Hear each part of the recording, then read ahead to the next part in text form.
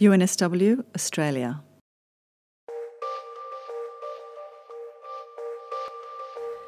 Healthcare is one of the most, if not the most, complex, high stakes industries in the world. Regardless of your setting, leaders in healthcare share similar challenges around the world. These include resource constraints, changes in patient demographics, increases in people living with chronic and complex diseases, ensuring the quality and the safety of care, and workforce shortages.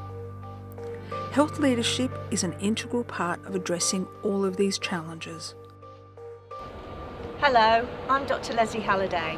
I'm Julia Kennedy.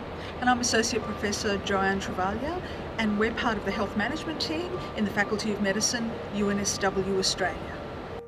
In this course, we'll explore health leadership from a personal, team, and organisational perspective. You'll engage with a combination of learning activities, including quizzes, reflection, and discussion.